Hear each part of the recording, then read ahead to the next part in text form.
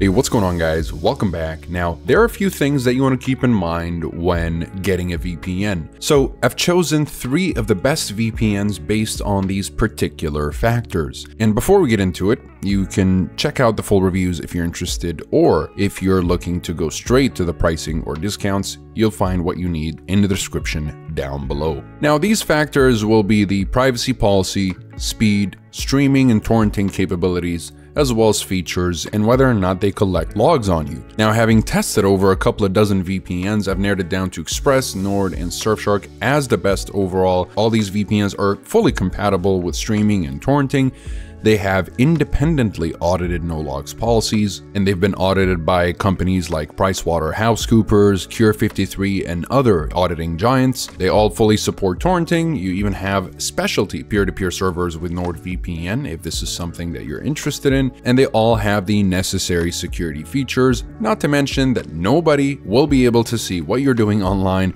whether you're using Express, Nord, or Surfshark, not your ISP, not your government, or any other outside party. So again, they all have independently audited no logs policies, so that's proof that they don't collect information about their users and sell it to third-party advertisers. They fully support streaming and torrenting without any restrictions, and I've tried Express, Nord, and Surfshark with Hulu, Netflix, Amazon, all kinds of Netflix libraries, in fact, and they've worked perfectly well without any inconsistencies. Although if one server seems to just not give you access to the service that you're looking for, just disconnect and reconnect to that same server, you'll pick up a new IP address and you'll be good to go from there. So when it comes to these VPNs, again, if you're looking for more info, you'll find them in the reviews below. But if I were to just make a quick recommendation on each VPN here, you can go with ExpressVPN if you're looking for something that is incredibly easy to use. And it's very quick. In fact, this VPN is the VPN that gets me to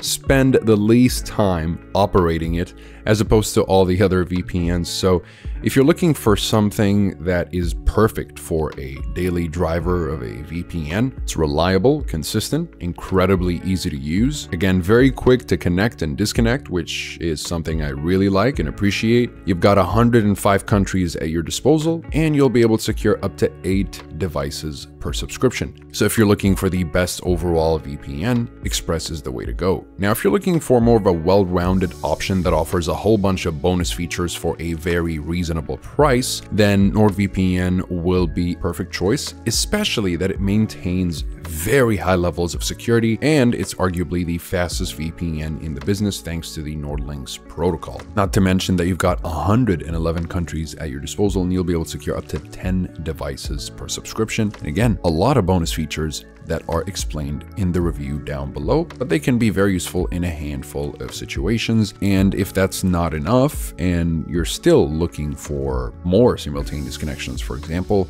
while you'll be able to share your account with as many friends and family members as you would like with Surfshark since it allows for an unlimited number of simultaneous connections with just a single subscription. So this is a very budget-friendly option.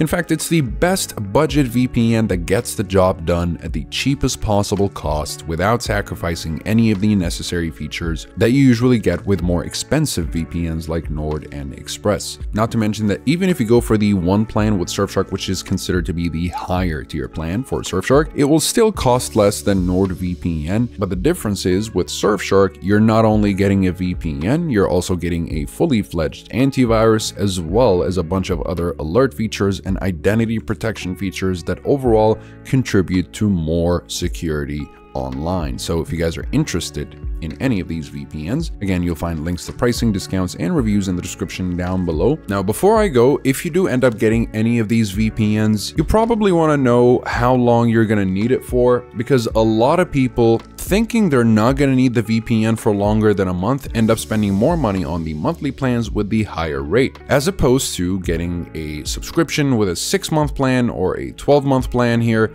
which will save you much more in the long term. So unless you know you're not going to need the VPN for more than a month, then go for something that saves you a little bit more in the long term, especially when using the discounts below. And that's not just for Express, that also applies to Nord and Surfshark, so feel free to take advantage of those while they last. Besides that, comment below if you have any questions, I'll be happy to answer all of them. Like and subscribe if you'd like to support the channel, and stay up to date with everything VPNs and cybersecurity. Thank you guys very much for watching, and I'll see you in the next one. Have a wonderful day.